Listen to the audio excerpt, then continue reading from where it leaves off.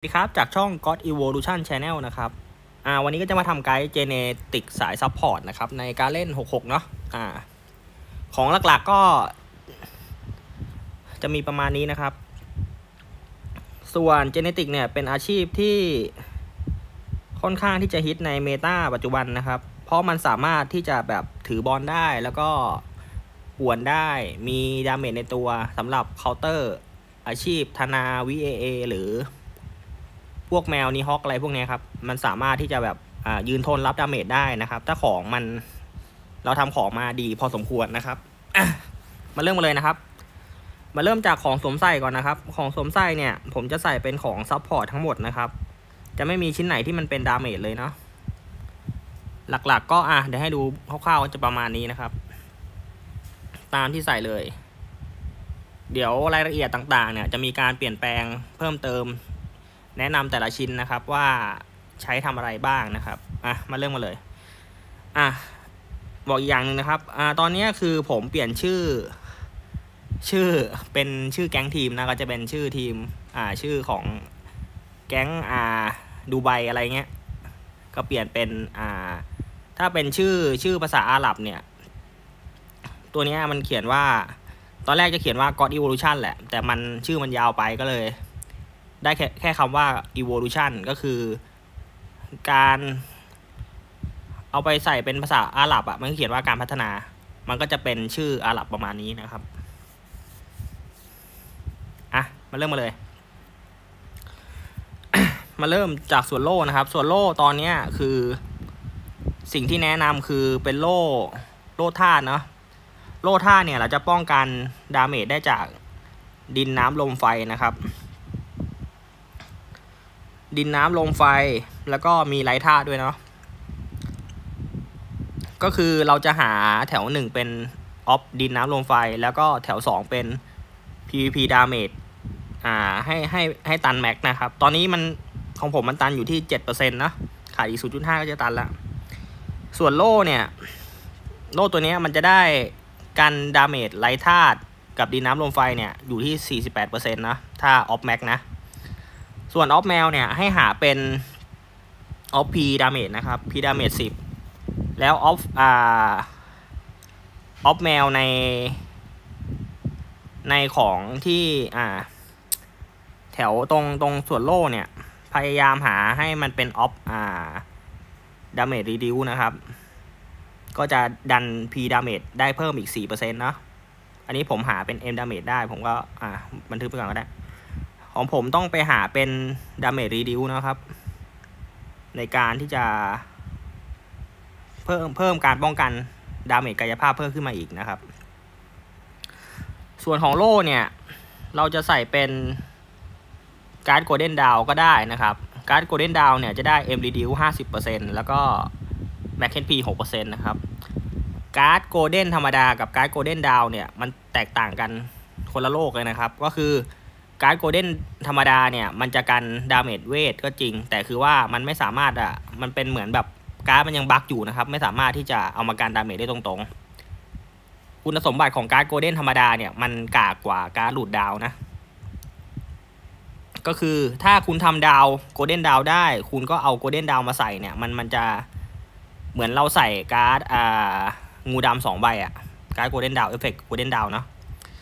แต่งูดำเนี่ยเราจะได้ skill ดีอ่ากัน skill นะหกเปอร์เซ็นแล้วก็เลือดอีกสิบห้าเปอร์เซ็นตนะครับ อันนี้มันก็แล้วแต่เราว่าเราต้องการเลือดหรือต้องการป้องกัน damage เวท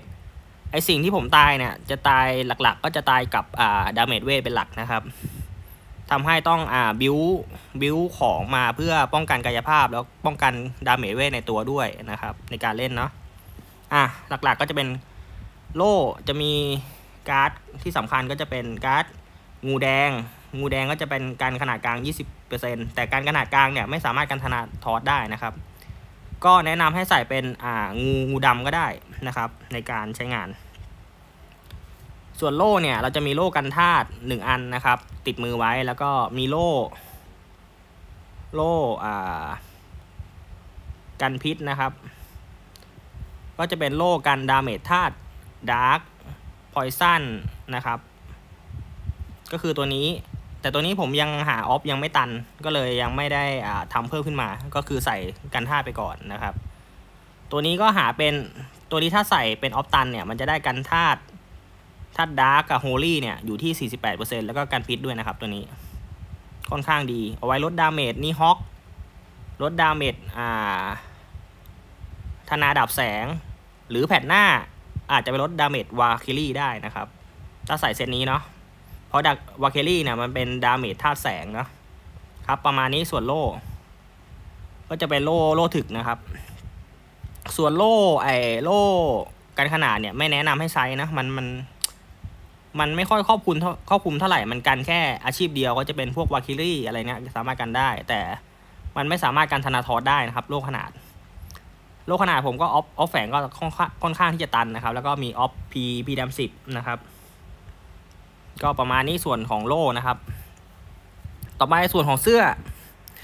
เสื้อตอนนี้ก็จะใช้เป็นเมนหลักก็จะเป็นเสื้ออ่ากันธาตุนะครับ เสื้อกันธาตุเนี่ยก็จะอ่าได้เอฟเฟกก็คือได้เลือด 4%สตันกับฟิตเนี่ยจะได้ 30%แล้วก็เมื่อตีบวก ตีบวก 10 เนี่ยจะได้ดินน้ำลมไฟ 5%แล้วก็ตีบวก 15 เนี่ยจะได้ดินน้ำลมไฟอีก 10%อีก 5%ก็จะเท่ากับว่าเสื้อตัวนี้จะได้กัน damage ดินน้ำลมลมไฟไร้ธาตุเนี่ยอีก 10%นะครับ ส่วนออฟแฝงเนี่ยแนะนำให้หาเป็นออฟกันธาตุ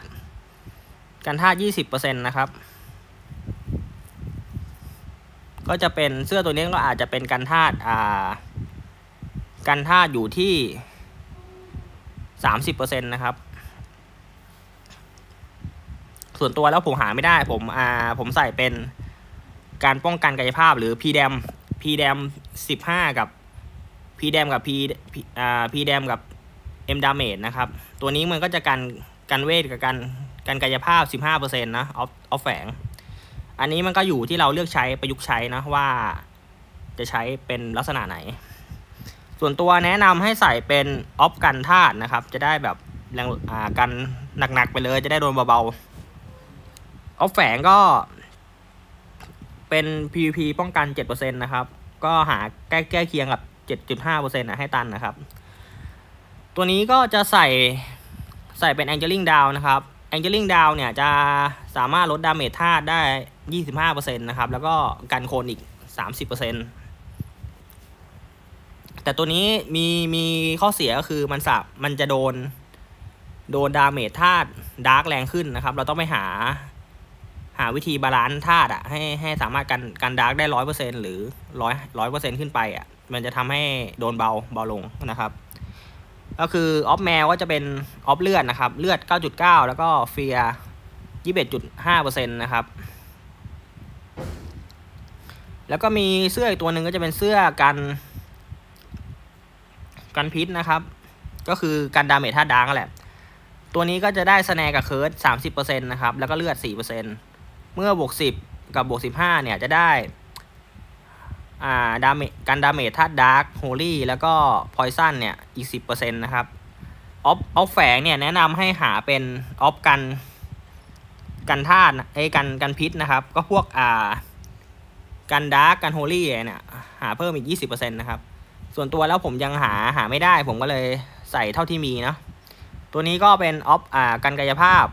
กับ damage เวท 10%นะครับ แล้วก็ออฟแฝงด้านล่างก็จะเป็นกัน PVP 7.5%นะครับ ตัวนี้ออฟแมวที่ใช้ก็จะเป็นอ่ากัน poison 21.8 กัน status resist 21.8 แล้วก็กัน burn 16.7%นะครับ การ์ดที่ใส่ก็จะเป็นการ์ดหนอนแดงเนาะ การ์ดหนอนแดงเนี่ย เอฟเฟกของมันก็คือ กันพิษ 50%ถ้าใส่ใส่หนึ่งฝั่งหนึ่งแล้วก็อีกเอฟเฟกหนึ่งก็คือ มันทำให้โดน damage ธาตุทุกธาตุเบาลง 25%แต่จะโดนธาตุแสงแรงขึ้นนะครับธาตุแสงน่าจะโดนแรงขึ้น 150%หรือหรือ 100%นี่แหละ ไม่ใช่เดอ่าจะทำให้โดนธาตุแสงแรงขึ้น 50%แต่จะทำให้โดนธาตุ dark เบาลง 75%เหลือหรือสมมุติอ่าถ้า dark ทำ damage ใส่เราเนี่ยหนึ่งล้าน เราใส่หนอนแดงไปเนี่ย เราจะโดน damage สองแสนห้าอะไรประมาณนี้นะครับ ลด damage 75%ตรงๆนะครับ แล้วก็เอฟเฟกของหนอนแดงเนี่ย มันกันพิษด้วย50%ถ้าใส่หนึ่งฝั่งหนึ่งประมาณนี้นะครับ ส่วนของเสื้อ หรือเราจะใส่การ์ดโกดก็ได้นะครับ การ์ด ตอนนี้ใสายซับที่ใส่การ์ดหลักๆ ก็จะมีการ์ด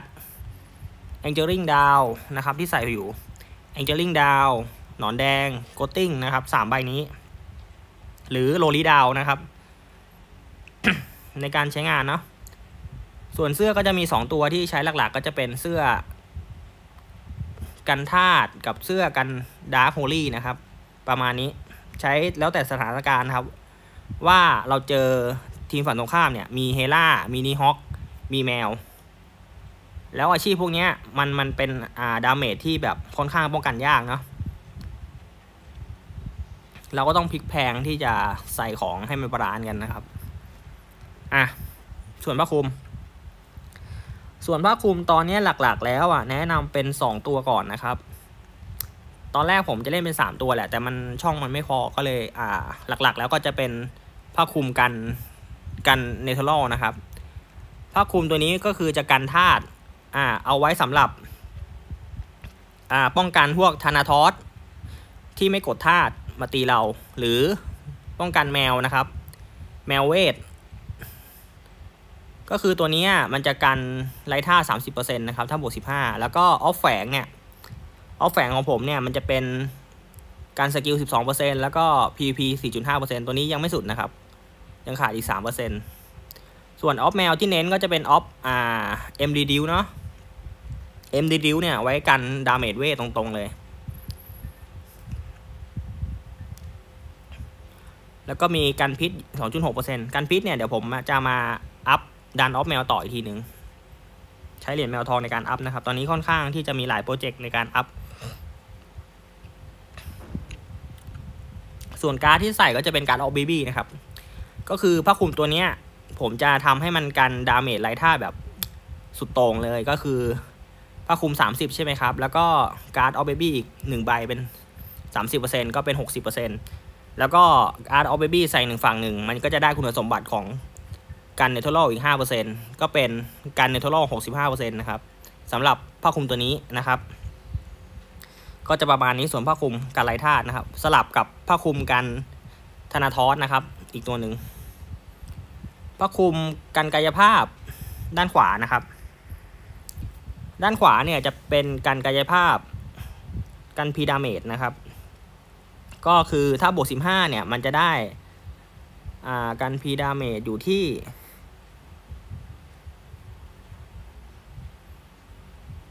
หกสามสิบสองเปอร์เซ็นต์นะครับ จะกัน P damage สิบสองเปอร์เซ็นต์นะครับตัวนี้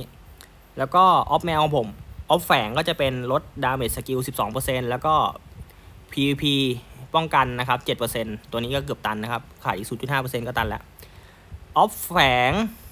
ออฟแมวเนี่ยที่ใส่เนี่ย จะเน้นเป็นออฟ MD reduc นะครับ MD reduc สิบของผมก็จะเป็นประมาณนี้ MD reduc สิบแล้วก็ติดพ่วง damage reduce มาอีก 2.7%ก็คือ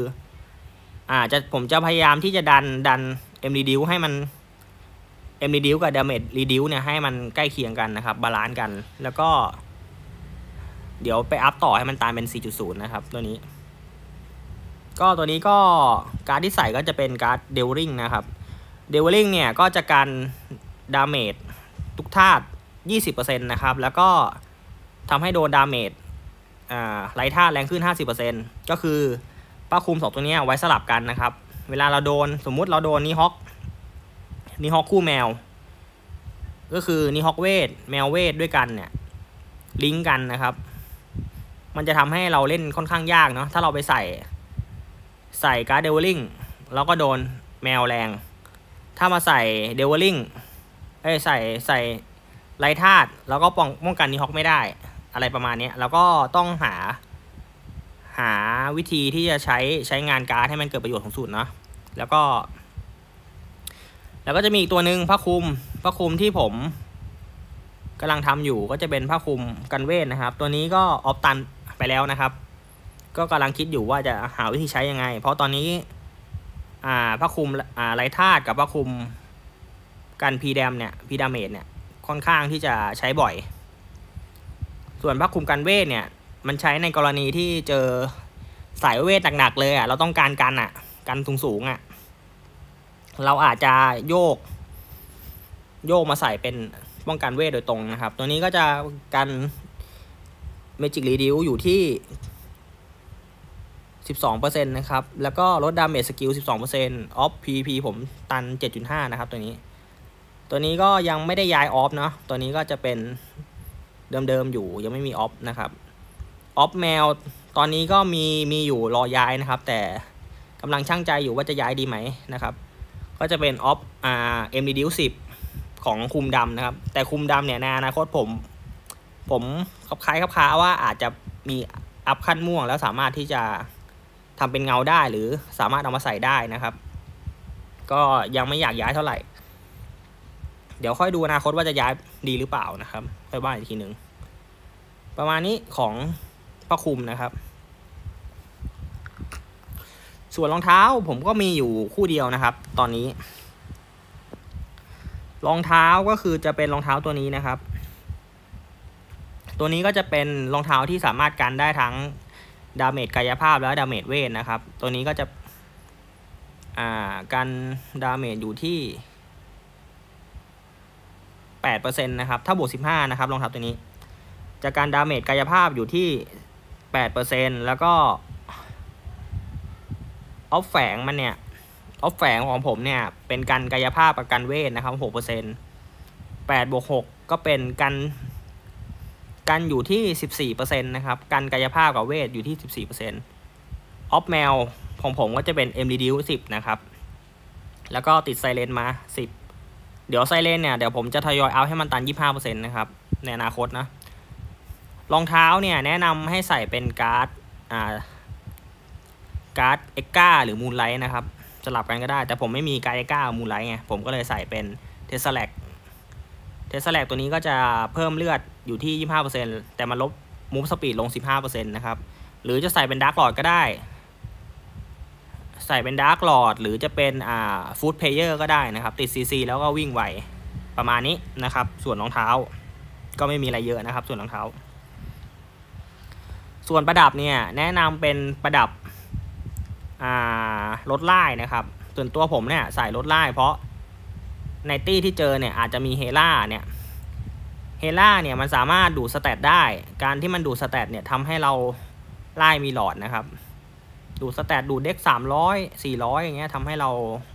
เล่นไม่ได้นะครับ ก็คือผมจะใส่เซตเป็นเซต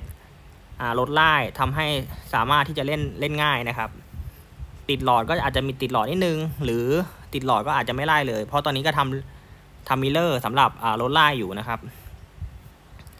ก็คือข้อดีของประดับตัวนี้ก็จะได้อ่าเมื่อบวก15เนี่ยจะได้ลดร่าย30%นะครับ แล้วก็ออฟแมวที่ให้เน้นก็คือเป็นอ่า P damage 9%หรือ M damage reduct 9%นะครับ ตอนนี้ได้6%นะครับ ของผมก็จะเป็นประมาณนี้ ส่วนออฟแมวเนี่ยก็จะเป็นออฟ P dam 10นะครับ ส่วนออฟอ่าออฟในออฟออฟแมวเนี่ยแถว2เนี่ยที่ต้องการที่จะรีเนี่ย ก็ก็ก็จำเป็นก็ต้องต้องหาออฟแมวที่มันอ่าติด damage reduce นะครับ ตัวนี้ก็สามารถดัน damage reduce ได้อีก 4%นะ ส่วนประดับก็สองข้างก็ 8%ประดับอ่าส่วนประดับ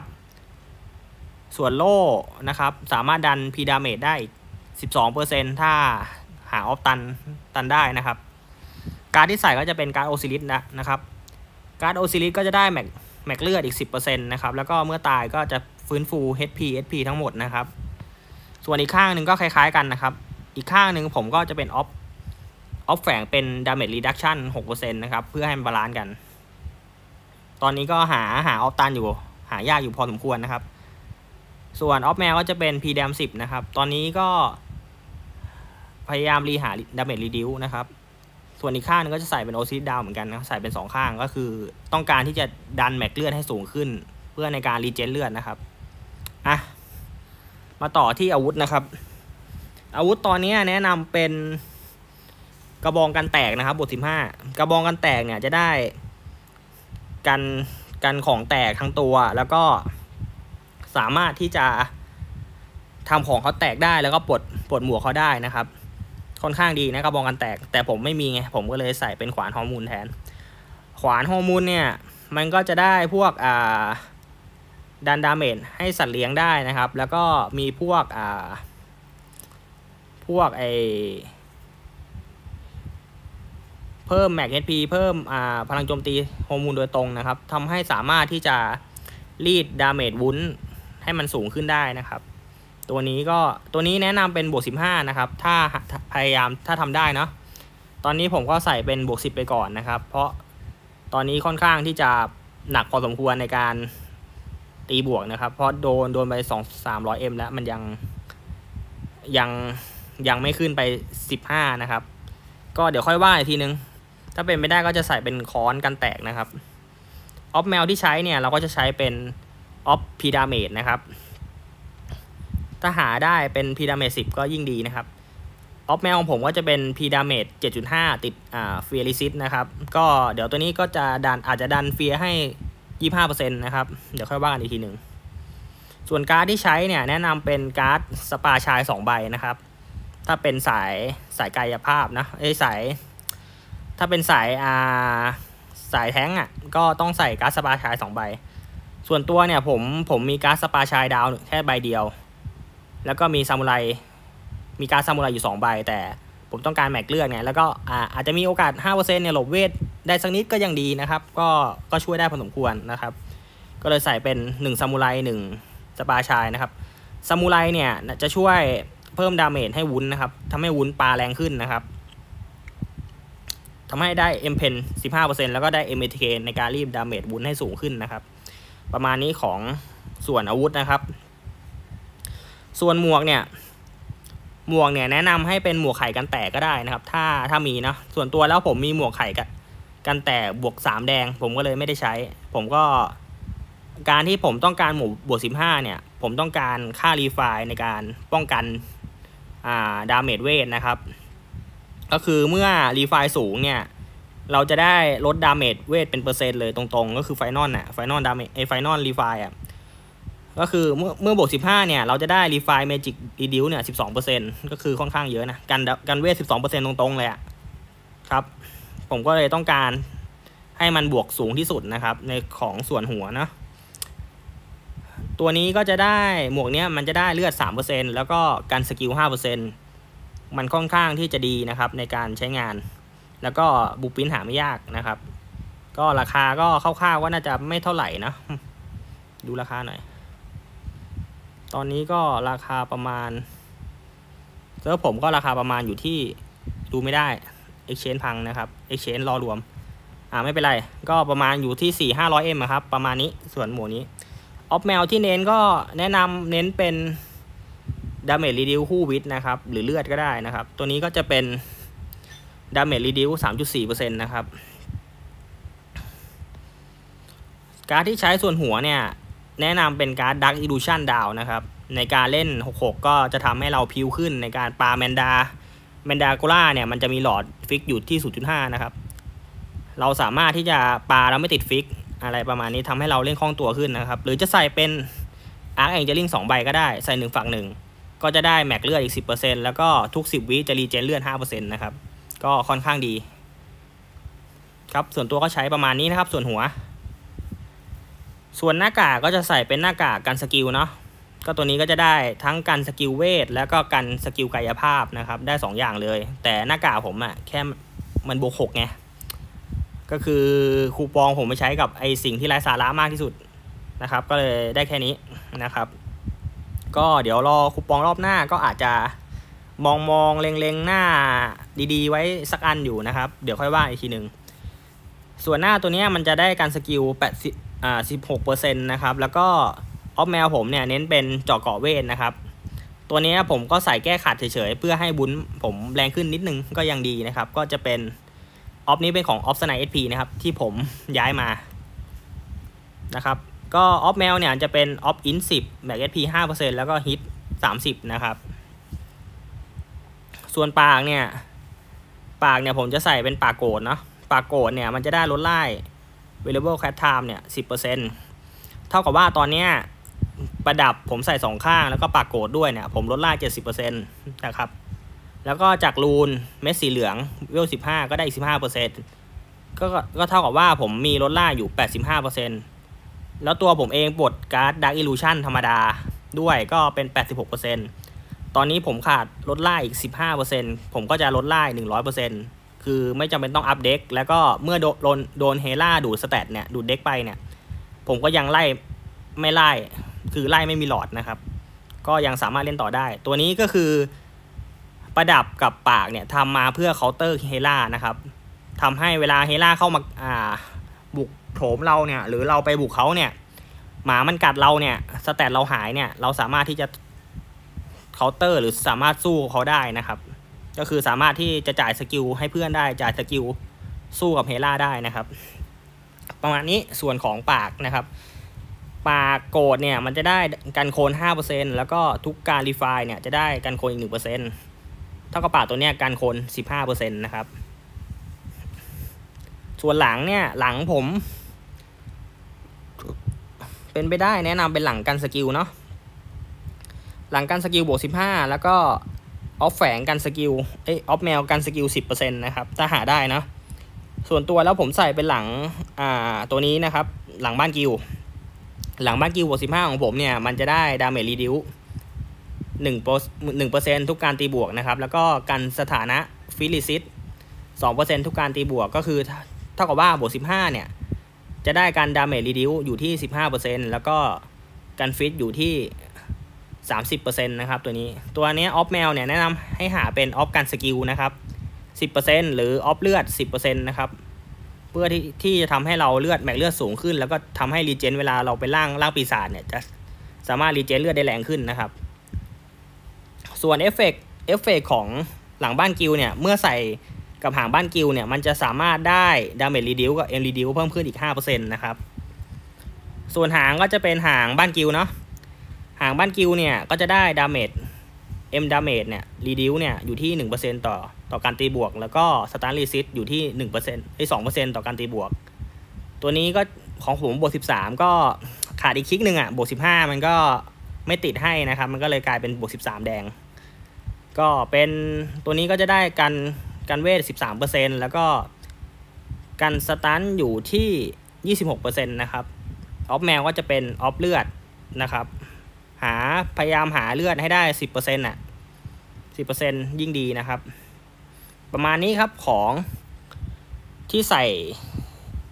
คร่าวๆเนาะแล้วก็มีเพิ่มเติมนะครับ คอหมาคอหมาบวก15เนี่ย มันเอาไว้สลับเพื่อใช้ในการเติมการเล่นการส่งบอลนะครับ ก็มันจะมี skill speed ขึ้นมานะครับ เพิ่ม move speed ร้อยเปอร์เซ็นต์เป็นเวลาอยู่ที่ก็คือถ้าบวก ถ้าไม่บวกเลยเนี่ยเดิมๆเนี่ยมันจะอยู่ได้ที่ห้าวินะครับ cooldown หกสิบวิถ้าบวกสิบก็จะได้เพิ่มอีกหนึ่งวิแล้วเราคูดาวอีกห้าวินะครับ ถ้าบวกสิบห้าก็จะเพิ่ม skill ต่อเนื่องอีกหนึ่งอีกสองวินะครับ ก็ลด cooldown อีกห้าวิก็เท่ากับว่าเมื่อเมื่อบวกสิบห้าเนี่ย คุณจะวิ่งไวอยู่ที่แปดวินะครับ แล้วก็ cooldown ในการโหลด skill เนี่ยอยู่ที่สี่สิบวิ ตัวนี้ก็ไว้สำหรับเติมบอลนะครับ อะประมาณนี้นะครับของในตัวคร่าวๆนะครับ แล้วก็ mirror เนี่ยแนะนำ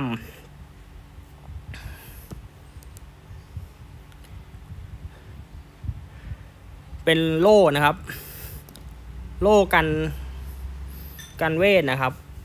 โล่กันธาตุก็จะเป็นโล่โล่กระจกโล่ mirror โล่ไอโล่นกคู่นะครับ ก็ตัวนี้ก็พยายามหาบวกสิบห้านะครับ ก็คือโล่ตัวเนี้ย โล่ตัวนี้อ่ามันจะได้กันการ damage ดินน้ำลมไฟอยู่ที่สามสิบเปอร์เซ็นต์นะครับ แล้วก็เมื่อทุกการรีบตีบวกเนี่ยมันจะได้กันการไร้ธาตุสองเปอร์เซ็นต์นะครับ เท่ากับว่าบวกสิบห้าเนี่ยจะได้กันไร้ธาตุอยู่ที่สามสิบเปอร์เซ็นแล้วก็การดินน้ำดวงไฟเนี่ยไดท่าด้วยอะมันจะอยู่ที่แปดเปอร์เซ็นต์ ก็จะเป็นการดินน้ำลมไฟไรธาตุสามสิบแปดเปอร์เซ็นนะครับ ส่วนโล่ ถ้าแผดเงาประดับมา โล่ตัวนี้ก็จะ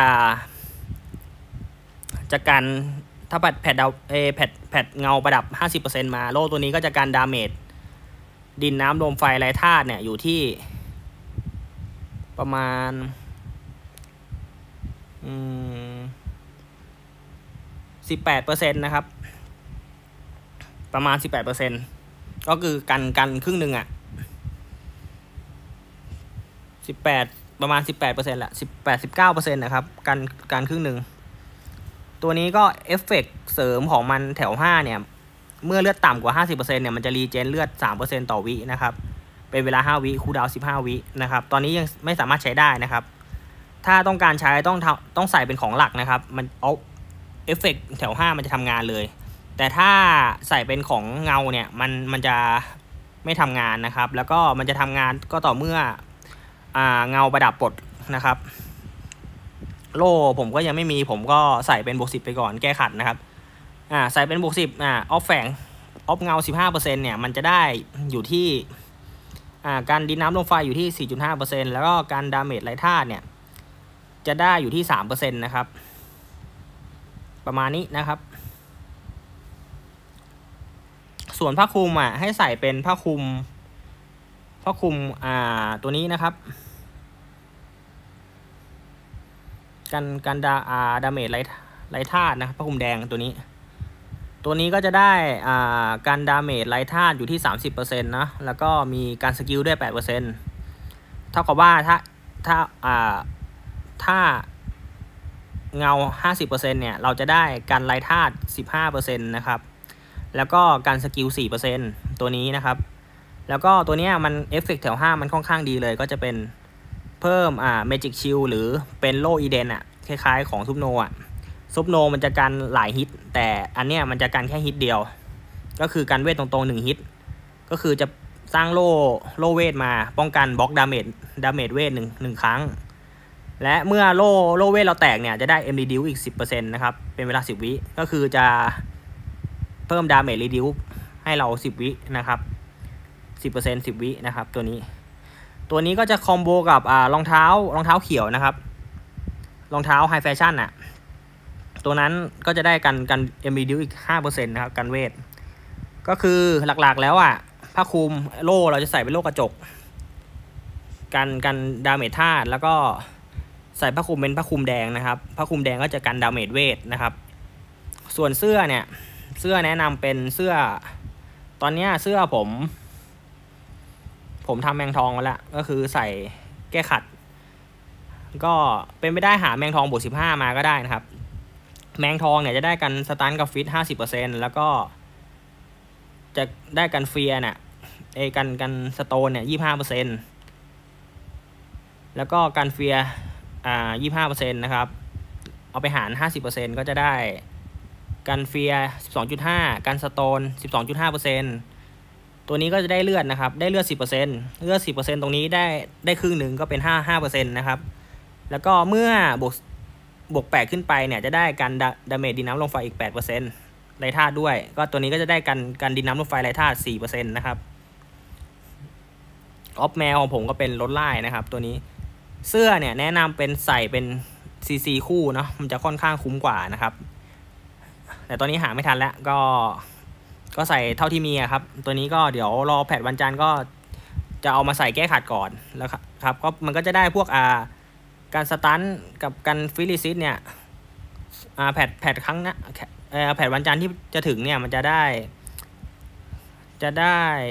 เงา 30%นะครับ ตัวนี้ก็จะได้ จะได้กัน stun กับ freeze เนี่ยสิบห้าเปอร์เซ็นแล้วก็จะได้พวกกันเฟียเนี่ย กันเฟียเนี่ย ถ้าเสื้อบวกสิบเนี่ยไม่ได้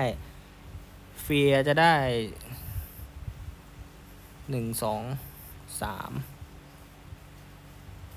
ได้ได้กัน fear หกเปอร์เซ็นต์นะครับ แล้วก็ได้เลือดอีกหนึ่งเปอร์เซ็นสองเปอร์เซ็นนี่แหละ ก็ค่อนข้างน้อยนะครับ ตัวนี้ก็ใส่ไปก็ยังดีกว่าไม่ใส่นะครับ ส่วนผ้าคลุมก็เป็นผ้าคลุมแดงเสื้อเป็นเสื้อแมงทองบวกสิบห้าผ้าคลุมแดงบวกสิบห้ารองเท้าใส่เป็นไฮแฟชั่นนะครับ ตัวนี้ ตัวนี้นะครับรองเท้าเขียว รองเท้าเขียวเนี่ยจะได้กันเวทแปดเปอร์เซ็นแล้วก็เมื่อบวกห้าเนี่ยจะได้กันกายภาพสามเมื่อบวกสิบก็จะได้กันกายภาพอีกห้าเปอร์เซ็นก็เท่ากับว่ากันกันเวทกับกันกายภาพอีกอย่างละ 8%นะครับ แล้วก็เมื่อบวก 15 เนี่ยจะได้กันเวทกับกันกายภาพเพิ่มอีก 5%ก็เท่ากับว่าเราจะได้กันเวทกับกันกายภาพเนี่ยสิบสามเปอร์เซ็นแล้วก็คอมโบกับมัฟแดงก็จะได้กัน damage เวทอีกห้าเปอร์เซ็นต์นะครับประมาณนี้ ถ้าหาได้นะบวกสิบห้าแล้วก็ยัดใส่ประดับอ่าใส่เป็นเงา แต่รองเท้าเนี่ยต้องหาเป็น M reduce 10นะครับออฟแมวแล้วก็ผ้าคลุมหาเป็น M reduce 10ออฟแมวประมาณนี้นะครับ ก็จะสามารถดันกันเวทได้ ผมว่าน่าจะดันกันเวทได้ประมาณ 200 กว่าเปอร์เซ็นต์อะค่อนข้างเอาอยู่อะประมาณนี้นะครับของ part เงาเนาะส่วน mirror เนี่ย ผมก็จะใส่เป็นเสื้อเดดแคทกัน stun กับ freeze เอ้สตันกับเฟียนะครับเอ้สตันกับไซเลนสตันกับใบนั่นแหละ50%แล้วก็อาวุธเนี่ยผมยังไม่ได้ฝังเนาะตอนนี้ก็หาหาหาของฝังอยู่ อาวุธเนี่ยผมจะใส่เป็นที่จะใส่นะ ในอนาคตเนี่ยอาจจะเป็นที่มองมองไว้นะครับ ตัวนี้ก็ตัวไหนนะ มองเป็นคาทาลิสนะครับ ตัวนี้ลดได้สิบห้าเปอร์เซ็นต์ กับเสื้อ fix นะครับ ตอนนี้คิดอยู่ คือถ้าผมทำลดร่ายอ่าอ่าลดร่ายจากออฟแมวได้อีกสิบห้าเนี่ย ผมก็สามารถที่จะไม่ต้องใส่คาทาลิสตรงเนี้ยมาใส่เสื้อ fix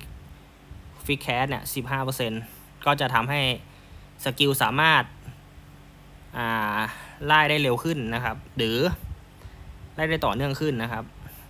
ก็อาจจะเป็นคาทาลิสเนี่ย ตอบโจทย์ดีกว่านะครับ ก็จะเป็นลดร่ายร้อยหนึ่งเปอร์เซ็นพอดีเป๊ะนะครับ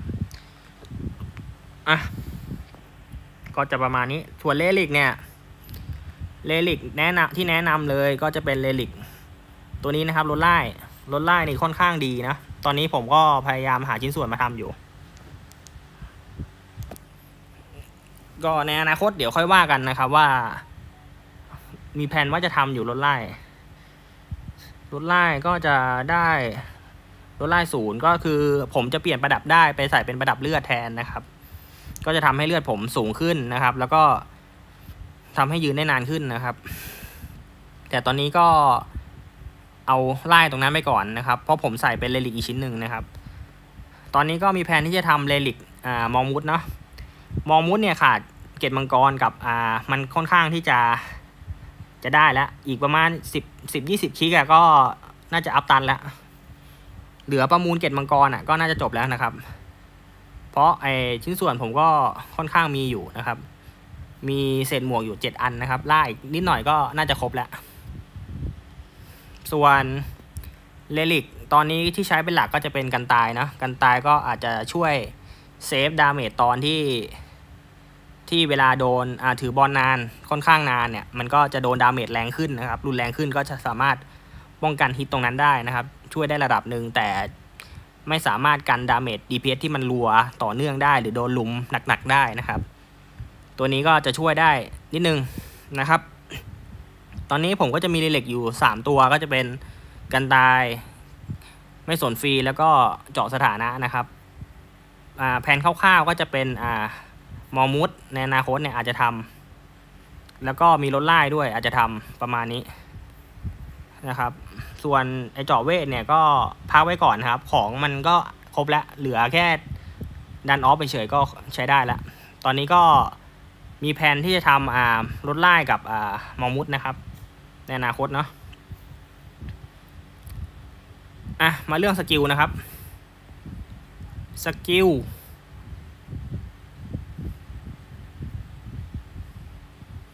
สกิลตอนนี้ก็อัพประมาณนี้นะครับ ก็จะเป็นอ่า ตะโกนเวลสิบนะครับตัวนี้แล้วก็รถเข็นเพิ่มความจุนะครับเวลห้าแล้วก็ DC เวลสิบ OC เวลสิบนะครับ แล้วก็ไอเงินเซนีเวลห้าเพื่อให้สามารถอัพสกิลถัดไปได้นะครับสกิลถัดไปก็อัพอ่า axe mastery ยี่สิบนะครับฮอร์โมนเรียกฮอร์โมนอ่าเรียกฮอร์โมนเวลสี่นะครับ ชุบฮอร์โมนเวลสี่ แล้วก็สกิลเพิ่มดาเมจฮอร์โมนไลท์ไซคิกเวลยี่สิบนะครับ แล้วก็ฮอร์โมนสเตนเวลห้าแล้วก็ทำยาเวลเจ็ดนะครับ อะ ต่อไปก็จะเป็นอ่าฮอร์โมนสเตนขั้นสองนะครับ เวลสิบแล้วก็ซูเปอร์ไลท์ไซคิกเวลสิบแล้วก็เฮลแพนเวลสิบนะครับ แล้วก็อ่า HP point เวลสิบ แล้วก็ MP point เวล10เอเวล1นะครับ แล้วก็มีเคลือบอุปกรณ์เวล3นะครับ ตัวนี้ก็ไว้สามารถเคลือบการแตก ก็คือเราไม่มีการแตกเราก็ต้องใช้สกิลนี้เคลือบนะครับ ก็อัพอ่าเคลือบอ่าเกราะ ตัวนี้ก็จะเป็นทำทำให้สกิลเนี้ยสามารถใช้กับเพื่อนได้นะครับ แล้วก็ทำให้ชุดเกราะไม่สามารถถูกทำลายนะครับ ตัวนี้ ก็ตัวนี้ก็จะเป็นของถ้าของเจเนเองก็จะสามารถเคลือบได้ทั้งหมดนะครับ ก็คือกันเกาะกันหมวก แล้วก็การอาวุธนะครับการสามอย่างเลยตัวนี้ตัวเดียว แล้วก็มีอัพตัวนี้วิวสามตัวนี้ก็พอยต์มันเหลือก็เลยอัพนะครับ ส่วนมาเมนคาร์เจเนติกนะครับเจเนติกก็จะอัพไลท์ไลท์เมกาวิวสิบนะครับไลท์เมกาตัวนี้ก็จะเพิ่มดาเมจให้เฮลแพนกับฮอร์โมนนะครับให้วุ้นนะครับตัวนี้ก็จะลดเลือดเจเนติกลง 20%ตัวนี้ก็จะเพิ่ม MATK ให้สัตว์เลี้ยง 100%นะครับ แล้วก็ขาดไม่ได้ก็จะเป็น HP Link นะครับ ตัวนี้ก็จะช่วยแชร์ดาเมจให้ฮอร์โมนนะครับ ก็คือเราโดนดาเมจหนึ่งล้าน เราแชร์ดาเมจห้าสิบเปอร์เซ็นต์ไปให้ฮอร์โมนด้วย เราก็จะโดนดาเมจเบาลงครึ่งหนึ่งนะครับ อะไรประมาณนี้ แล้วก็ Cart Boost เวลห้านะครับ ตัวนี้เพิ่ม move speed สามสิบเปอร์เซ็นต์นะครับ แล้วก็อ่าตัวนี้จะได้ move speed อยู่ที่42%นะครับ จาก rune ด้วย แล้วก็ Genetic Motion ตัวนี้ก็จะเพิ่ม Vit 20 Int 10 แล้วก็เพิ่ม max เลือดนะครับ แล้วก็ MATK Crazy Weed เนี่ย up แค่ 7 พอนะครับ เพราะมันสามารถที่จะเอาเอาไปล้างพื้น ถ้า up แค่เวล7เนี่ย มันจะสุ่มล้างพื้นอยู่ที่แค่ห้าอ่าห้าอันนะครับ ก็คือสามารถล้างเวทอ่า Light Shield Ankle Snare Fire Pillar อะไรพวกต่างๆเนี่ยบ่อฉลามอะไรพวกนี้ล้างได้หมดเลย ที่เป็นเวท ล้าง Land ก็ได้นะครับ ประมาณนี้เอาไว้แบบเคาน์เตอร์สู้เขา แล้วก็ Thorn Trap เวลสามนะครับ เพื่อเป็นทางผ่านให้ Man- Mandragora Howling เวลสิบนะครับ ตัวนี้ Mandragora ตัวนี้เป็น skill หากินเรานะครับ ไว้ลด Int ฝั่งตรงข้าม 150 แล้วก็ลด max SP ลง 50%นะครับ แล้วก็ในขณะเดียวขณะเดียวกันเนี่ยมันมันสามารถเพิ่ม fix cast หนึ่งวิก็คือเพิ่มเวลาร่ายอะเพิ่มขึ้นหนึ่งวินะครับทำให้ Thanatos ไม่สามารถที่จะร่าย skill ได้ต่อเนื่องนะครับ ทำให้มันมันมันช้าลงอะไรประมาณนี้ทำให้เรามีเวลาที่จะเล่นมากขึ้นนะครับ ตัวนี้เอาไว้ใส่ขัดพวกตัว support ตัว damage ก็ได้นะครับมาต่อไปเป็น skill skill class สี่นะครับ skill class สี่เนี่ยหลักๆ แล้วเนี่ย เราจะเน้น skill แปลงร่างนะครับอ่าแปลงร่างเนี่ย แปลงร่างก็จะเป็น skill ตัวนี้นะครับ homun Mega เนี่ย ตัวนี้ก็จะช่วยเพิ่มในการที่จะกลายร่างหรือผสมร่างกับ homun นั่นแหละ มันจะสามารถใช้เอฟเฟกพิเศษของ homun ได้ หรือถ้าเป็นร่างปีศาจเนี่ยมันสามารถที่จะร่างปีศาจก็คือ มันจะลด damage final ได้สี่เท่าก็คือเจ็ดเปอร์เซ็นต์ก็คือจะลด damage final ลงยี่สิบแปดเปอร์เซ็นต์ถ้าอยู่เราอยู่ในร่างปีศาจนะครับ ประมาณนี้ทำให้เราถึกขึ้นนะครับ ก็หลักๆแล้วก็เราก็จะใช้อ่า Vampire Gift ตัวนี้ก็จะเป็น มันไม่ได้มีเอฟเฟกอะไรหรอกมันดูดเลือด ดูดเลือดก็คือตัวเนี้ยเวลาเราใส่เป็น auto เนี่ยมันสามารถที่จะเราเรากดอ่า auto ไว้เนี่ย มันมีตัว damage วิ่งเข้ามาเนี่ย เรากด skill นี้ใส่เขาเนี่ย วุ้นเราจะไปทำ damage เลยทันทีนะครับ ตัวนี้ก็จะใส่เป็น skill auto ไว้นะครับ แล้วก็สกิลออโต้โหจะมีตัวนี้แล้วก็ไลท์เซคิก็เพิ่มดาเมจให้ ให้โฮมูลแล้วก็แปลงร่างออโต้นะครับ ในกรณีที่เรา เราต้องกดแปลงร่างตลอดอยู่แล้วนะครับ ในการที่เราสามารถในการรีเลือดหรือในการที่เราจะทำให้เราตัวเรามันมันถึกขึ้นอะไรเงี้ยเราก็ต้องแปลงร่าง แต่จังหวะแปลงร่างเนี่ยมันอาจจะแบบบางคนก็เอามากดมือหรือบางคนก็เอามาใส่ออโต้ไว้นะครับ ส่วนตัวผมเอาใส่ออโต้ไว้นะครับ ราะผมไม่ได้หวังผลจากการแปลงร่างเพื่อให้ติดร่างม่วงแล้วก็รีเลือดร้อยเปอร์เซ็นต์อะไรเงี้ย คือผมแปลงร่างตลอเวลาอยู่แล้ว ประมาณนี้ แล้วก็มีอ่าแมนดาโกล่าเป็นแบบตัวนะครับปลาลงพื้น เป็นแบบประมาณนี้ อ่า ก็จะปลาได้สั่งสองตัวนะครับ ก็จะมีติด skill cooldown นิดนึงไว้ตั้งโซนอะเวลาเขาเดินเข้ามาเขาติด fix เลย ติดเพิ่มร่ายเลยอะไรประมาณนี้อ่าประมาณนี้สองตัว แล้วก็มีปาธรรมดาด้วย ในกรณีที่แบบอ่ามันล้างพื้นใช่ไหมแล้วก็ปาใส่เขาเลยอะไรประมาณนี้นะครับ ส่วนพื้นที่ขาดไม่ได้ก็เป็นพื้น heal ตัวนี้นะครับ ตัวนี้ก็จะเป็นวงเวทอ่าคือตัวเนี้ยใช้รีเลือดก็ได้ระดับหนึ่งแต่ไม่ไม่ค่อย work เท่าไหร่ หลักๆ แล้วเอามารี SP นะครับ ในการเล่น ก็จะสามารถ คือพื้นเนี่ยเพื่อนเข้ามาเดินเดินเข้ามาผ่านเนี่ยเข้าไปในวงเนี่ยอยู่สามวิอะ SP เต็มหลอดเลยนะครับ ตัวนี้ค่อนข้างดีนะครับ ส่วนตัวก็จะส่วนอย่างอื่นก็ไม่ค่อยมีอะไรละแล้วก็มี skill นี้ครับWind Armor ตัวนี้ก็จะเป็น skill ที่สามารถกันปลดกันโลปลดได้ แล้วก็สะท้อนกายภาพได้ แล้วก็สะท้อน damage ธาตุไฟได้นะครับ จาก rune นะคร่าวๆก็จะประมาณนี้นะครับของ skill อ่าพื้นก็จะประมาณนี้นะครับ ก็ถือคือจะเพิ่ม S หลักๆ แล้วเอามาเพิ่ม SP ให้เพื่อนแหละ ถ้าโดนบอลฟ้าเหลืองนะครับ โดน ball burn โดน Soul ลิง burn mana อะไรเงี้ยตัวเนี้ย แล้ว skill เนี้ยมันไม่ติดไอ้นี่ด้วย ไม่อ่าไม่มีการใช้ SP นะครับ สามารถอ่าวางได้เลยนะครับ ประมาณนี้ แล้วก็ skill ขวด SP เนี่ยที่ผมเอาขึ้น shortcut เนี่ย ในกรณีที่ผม SP ต่ำๆเนี่ยผมอาจจะกด SP ตัวนี้ ก็คือมันใช้ SP 8 นั่นแหละ ก็คือถ้า SP ไม่มีใช้เราผมก็จะใช้พื้นตัวนี้มาก่อน ถ้ามีอ่ามี SP SP เหลือน้อยๆเนี่ยผมก็อาจจะปาตัวเนี้ยในกรณีที่โดน damage โถมมาอยู่ เราไม่สามารถปาพื้นได้หรือพื้นติด cooldown เนี่ยแล้วก็ปาตัวนี้ช่วยในในการ regen SP ขึ้นมานะครับอะส่วนของ skill ไปแล้วนะครับ ตอนนี้การเรียงหน้า skill การเรียงหน้า skill ผมก็จะประมาณนี้นะครับ Crazy Weed ของผมก็จะมี Crazy Weed นะครับ ตัวนี้อ่าไว้ล้างพื้นHell Plant นะครับ ในการจิกนะครับ ก็คือถ้าเราเราปล่อยหนอนมาเนี่ย เราจะกัน final final damage ได้นะครับ ตัวนี้จาก passive ตัวนี้ ก็คือเมื่ออัญเชิญ Hell Plant ขึ้นมาเนี่ยอ่าเราจะสามารถลด damage ได้สิบห้าเปอร์เซ็นต์นะครับ ก็คือจะถึกขึ้นสิบห้าเปอร์เซ็นต์อะ แล้วก็ skill วุ้นนะตัวนี้เป็น skill passive ของวุ้นก็คือ skill ตัวนี้เป็น skill หากินเลย มันสามารถกันหลับธนาได้ร้อยเปอร์เซ็นต์ก็คือกดก่อนก็ได้ หรือกดหลังโดน skill หลับธนาก็ได้นะครับ ก็คือกดปุ๊บต้านต้านหลับเลย กดปุ๊บล้างหลับเลยนะครับ ก็จะกัน frost ได้กัน stone ได้กันกระหลับได้นะครับ ตัวนี้สามารถแก้ได้เลยนะครับ แล้วก็กันผลกันซีซีพวกนี้สามอย่างเนี่ยห้าวินาทีนะครับ cooldown แค่เก้าวิเองไอ้ cooldown สิบวิเอง กดได้เลยประมาณนี้ก็จะเป็นโล่เหมือนโล่ป้องกันอะ่ะกันกันกันพวกซีซีอะแล้วก็ skill หากินอีกอันหนึ่งก็เป็น skill ของ Lif นะตัวนี้ ตัวนี้ก็ cooldown ยี่สิบวินะครับ แล้วก็คือสามารถรีเลือดได้เต็มหลอดเลย ก็สามารถกดได้ทุกยี่สิบวิก็จะกดได้ครั้งหนึ่งนะครับ สามารถลด cooldown ได้แต่ไม่ค่อยคุ้มหรอกที่จะใส่เซตลูกลด cooldown มาใช้อันนี้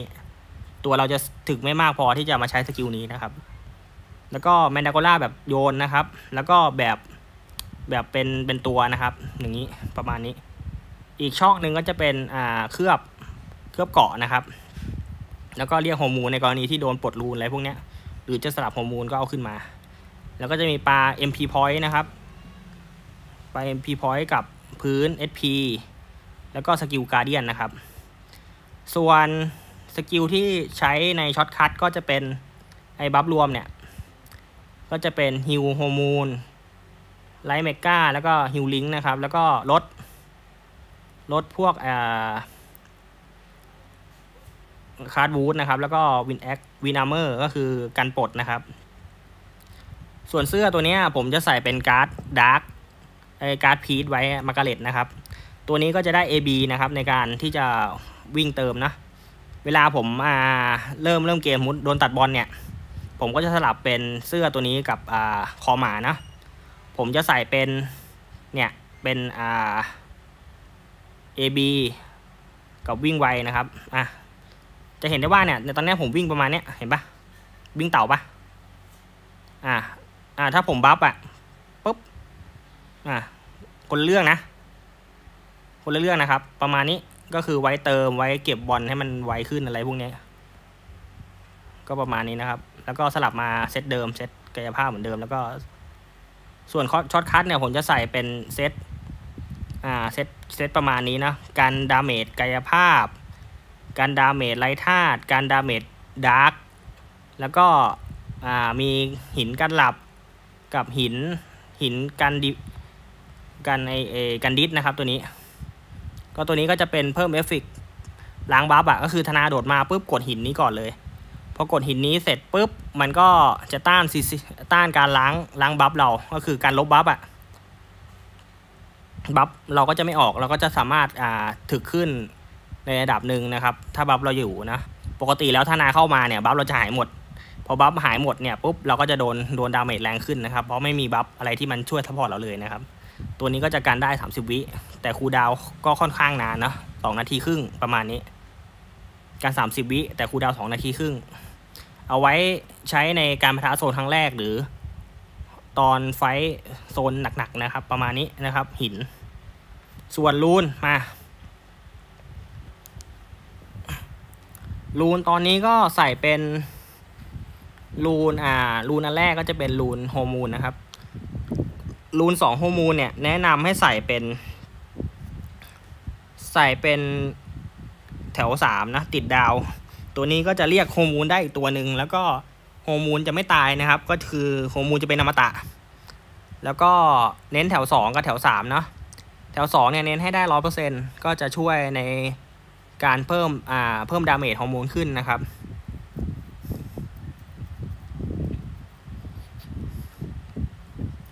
ถ้าเป็นไปได้เนี่ยหาแถวหนึ่งให้อ่า MDK ติดลบน้อยน้อยที่สุดนะครับ ยิ่งดีนะครับ ก็คือจะทำให้วุ้นเราปาแรงขึ้นนะประมาณนี้ ก็จะเน้นสามแถวเลยตัวนี้ค่อนข้างหายากนะ ต่อไปก็เป็น rune Hell Plant นะครับ ตัวนี้ก็จะเน้นแถวสามเดียวแถวสามกับแถวสองนะครับ แถวสองเนี่ยจะทำให้ติดสถานะด้านลบเพิ่มขึ้นนะครับสามสิบเปอร์เซ็นต์แต่ผมหาผมเน้นเป็นแถวแถวสามไงแถวสามก็เมื่อ Hell Plant จิกเนี่ยมันจะลดเลือดสามเปอร์เซ็นต์แล้วก็ทำให้ติดรากยึดอะทำให้เดินเดินไม่ออก ก็คือจะติด Thorn Trap นะครับ ก็เน้นแถวสามนะครับ แล้วก็มีอีก rune นึงก็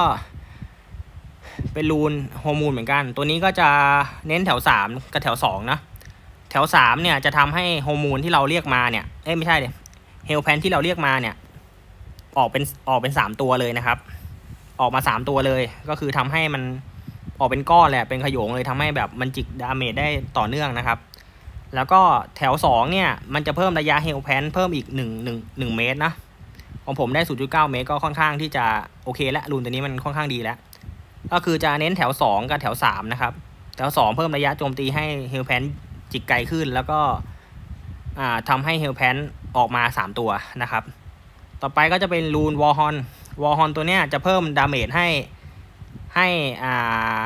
ฮอร์โมนเราก็คือให้วุ้นอะ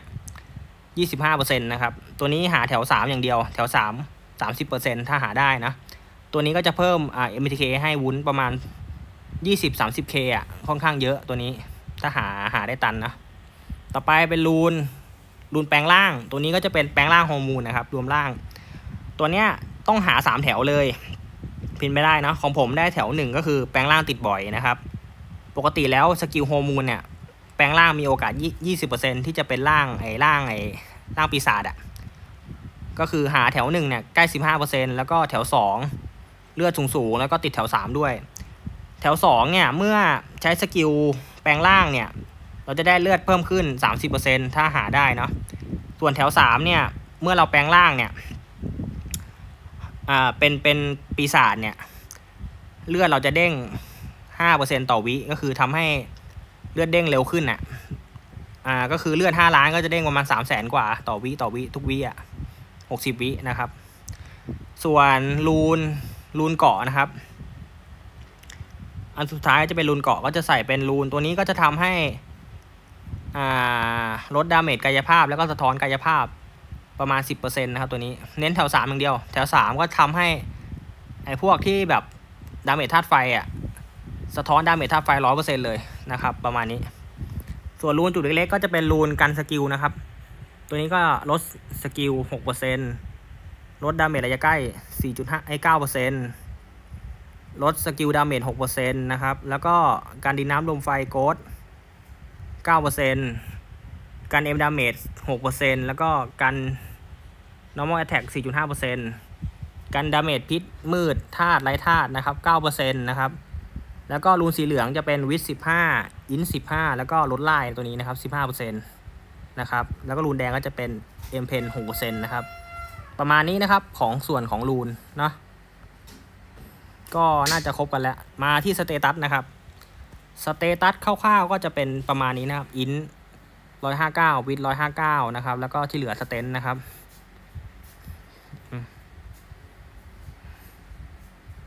ก็ลอง buff ดูนะครับ อะ ตอนนี้ก็ buff